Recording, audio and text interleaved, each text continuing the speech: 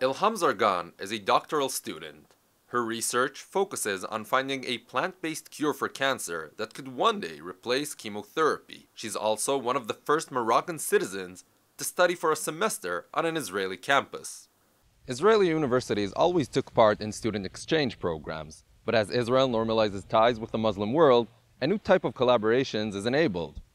This summer, for the first time ever, a delegation of Moroccan students arrived here at the Ben Gurion University in Beersheba for a student exchange program, a first of its kind collaboration between Israeli and Moroccan academia. What was the reaction among your friends and family when you told them that you're going to study in Israel, of all places? They were shocked at first, but then I had, with my father, I had two hours lecture because he's a baker and he learned his bakery from, from a Jewish person in Fez City.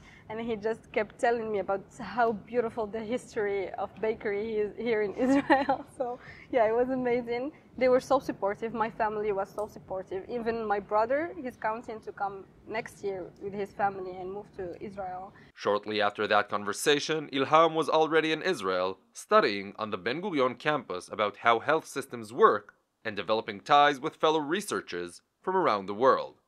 Professor Limor Aharonson Daniel told the Media Line how the connection between BGU and the Moroccan universities started. Researchers for BGU have been in touch with Morocco for over 25 years uh, using different passports or, or uh, different paths uh, to be able to do this. But once the Abraham Accords began, we were actually able to formally approach. Uh, so we started with, with the Internationale Université de Rabat, uh, in the field of humanities to make some connections, and they were enthusiastic about connecting with us. The challenges, says Aharonson Daniel, were almost non existent. It's very interesting because I make connections with countries all over the world, uh, some countries which I lived in. And still, when I came to Morocco, although I have no uh, Moroccan uh, heritage in my family, although I've never been in Morocco before, once I stepped there and met the people, there was something very natural but it wasn't just about school. The exchange students also got a chance to travel around Israel and get to know its people. We asked Ilham what left the strongest impression on her. Regardless of the political conflicts, their communities are actually collaborating and working together. I've seen PhD, Arab PhD students being supervised by uh, Israeli professors in the best possible ways.